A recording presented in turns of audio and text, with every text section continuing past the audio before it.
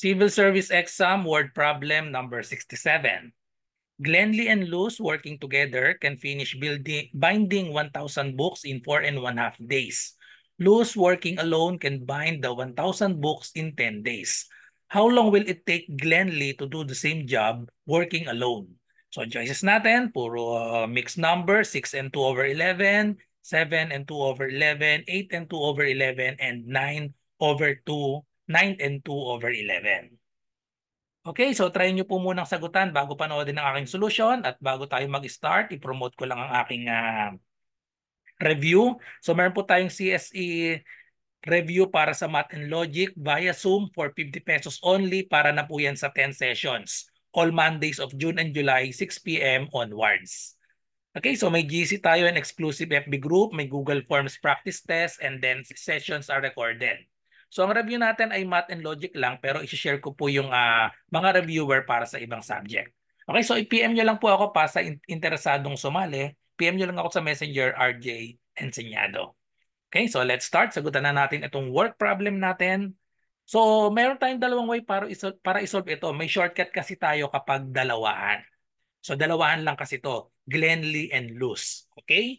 So, applicable lang yung shortcut para sa dalawahan lang. Ha? Yung product over sum or product over difference. Tandaan kapag tatlo or mas marami pang na work problem, hindi pwede yung shortcut. Okay? So, unahin na muna natin yung formula. So, ang formula, pag dalawahan, Glenly and Luz, so gamitin na natin yung first letter nila. 1 over G for Glenly, and then plus Luz ay 1 over L is equal to 1 over T for together. T for together. Okay, so yan ang formula. Tapos ang shortcut naman, how long will it take Glenn Lee to do the same job working alone? Kapag alone, so meron tayong shortcut para sa alone. Ang formula para sa alone ay equal sa product over difference. Ito lang yung shortcut, napakasimple. Product over difference lang, tandaan para lang ito sa dalawahan na work problem. Okay? So dalawa na work problem kagaya nito, Glenly and Luz, dalawa lang. So applicable itong formula natin. Okay? So or itong shortcut. So gamit ang formula, ito muna yung unahin natin. 1 over G plus 1 over L is equal to 1 over T. So kunin natin yung rate ni Glenn, ni Luz, tsaka yung together. Kung ano yung given sa kanila. So working together uh, can finish what uh, binding 1,000 books in 4 and 1 half days. Okay, so in together nila, 4 and 1 half days. So dito natin ilalagay yon. Loose working alone can bind 1,000 books. So parehas 1,000 books. Kapag hindi parehas 1,000 books yan, medyo may iba yung solution natin. So dahil parehas na 1,000 books, so bali wala na yung 1,000 books dito sa problem natin. Okay? So parang panggulo na lang yung 1,000 kasi parehas sila. So magkakaroon tayo ng problema kung hindi parehas yung 1,000. Okay? So 10 days daw si lose working alone 10 days. So, palit lang natin dito ang hinahanap natin, how long will it take Glenn Lee? So, itong letter G ang hinahanap natin.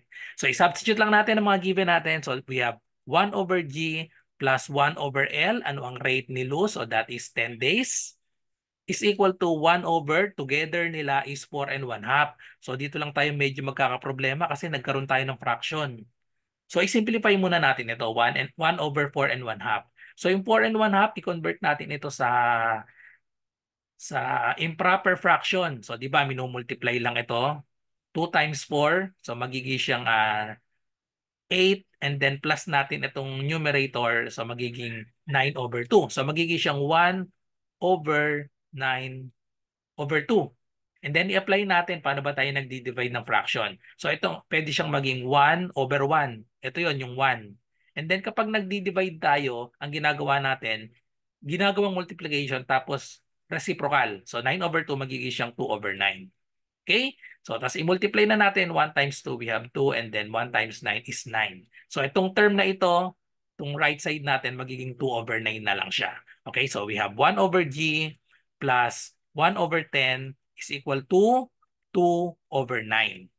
So ngayon, tanggalin natin yung, yung mga denominators natin, G10 at 9. So multiply natin sa LCD. Ano ang LCD ng G10 at 9? So multiply lang natin kasi walang common factor yung 10 at 9. So 10 times 9, so that is 90 times G. So we have 90G. Multiplied both sides by 90G. Okay, and then distribute natin ito.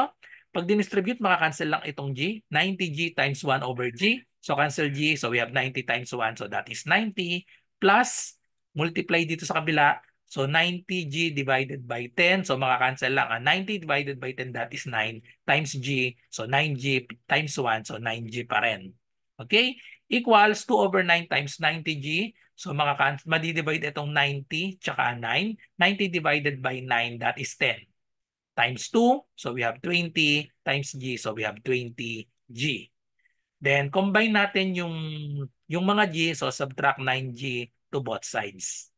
Okay, so wala na ito. So we have 90 equals 20G minus 9G is equal to 11G. Last step, divide both sides by 11. Therefore, ang rate ni Glenly ay convert to mix na to mix number ito. So ilang 11 meron sa 90? So that is uh, 8 kasi 88. Okay, so we have 8.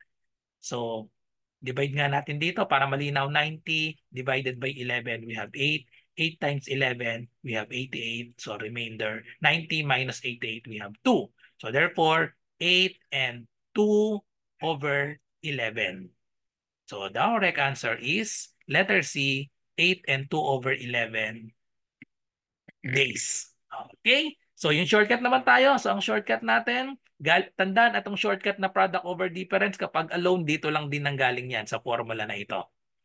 Okay, so product, i-multiply natin yung dalawang rate. So 4 and 1 half times 10 days.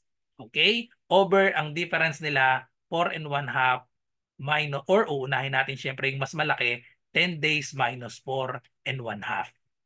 Okay, so kunin lang natin, i-change natin ito sa improper. So ito na rin siya. Ayun, magiging 9 over 2 na rin yan. So we have 9 over 2 times 10 over, unahin natin itong 10, minus 4 and 1 half. So 4 and 1 half pa rin. Wag na, rin, wag na natin i-change sa 9 over 2. Tapos itong 10, pwede nating i-change, ibabarowan natin kasi may fraction ito. So imbis na 10, gagawin nating 9 and 2 over 2. So parehas pa rin yan sa 10 kasi ang 2 over 2 ay equal sa 1.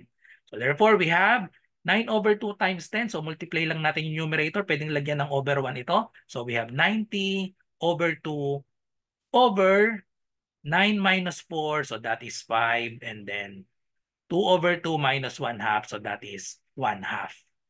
And then convert natin ito. So pwede na makakancel na ito dito. So we have 90 over 2 and then convert this 5 and 1 half convert to improper fraction. So 2 times 5 we have 10 plus the numerator. So we have 11 over 2. And then we can cancel 2 dahil parehas silang dinivide sa 2. So the answer is 90 over 11. So parehas na siya dito, 90 over 11. Pag change natin sa improper, uh, sa mixed number, so 8 and 2 over 11 din ang answer natin.